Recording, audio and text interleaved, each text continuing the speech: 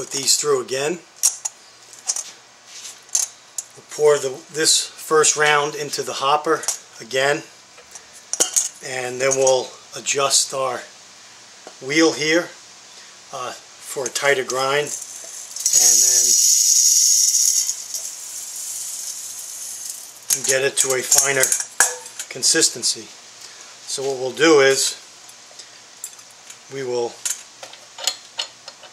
tighten this down.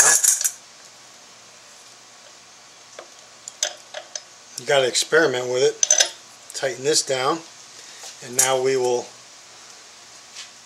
go again and get this to a finer grain. Okay, now we'll go the second time through.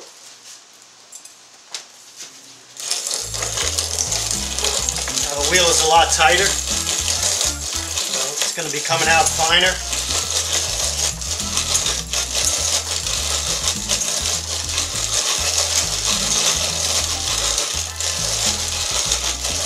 Guys a look at how much finer this second time around goes.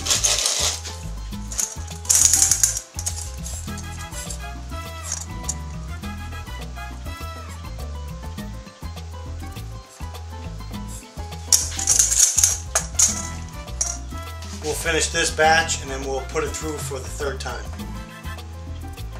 This is the second time around. We're putting the grain through, or the wheat through.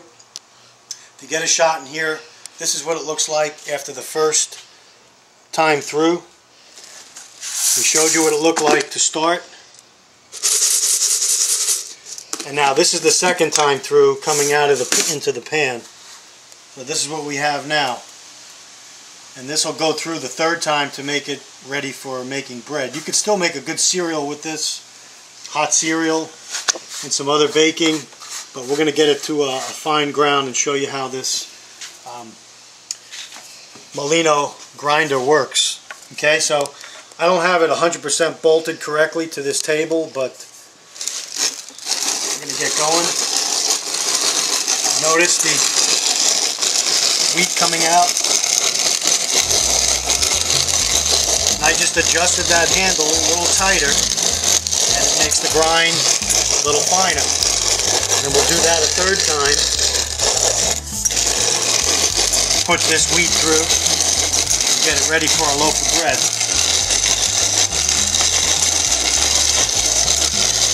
Again, it does take some effort, but when you don't have power, this is the best thing to do. And this has been used all over the world, especially in Colombia, Latin America, Mexico. Uh, you'll also build some muscle. So it's a good thing. You'll be getting in shape. Okay, this batch is almost done through. Get a shot through the top here. You can see it getting down to the to the end.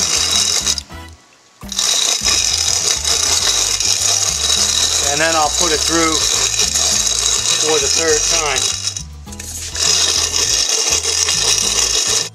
Okay, we're to put it through again.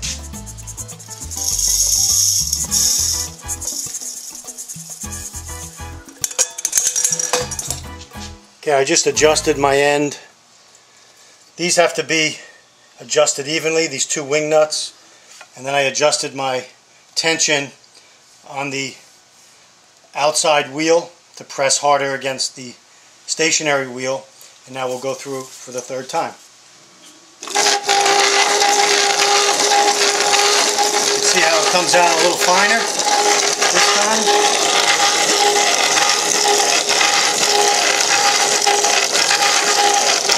This is hard white wheat that we're doing. This is from our food storage, number 10 can. Everyone should be storing wheat in some shape or form. Hard red, hard red, hard white, are the two most common because there's so much you could do with them and they're such a staple and they have such a long shelf life in the, in a solid form. Again, this is just another prep that you should have. It's a must prep and it can end up saving you and your family in a time of crisis or a time of a grid down uh, situation. Okay? Thanks for joining me. Hope you enjoyed it. Send me your questions and comments.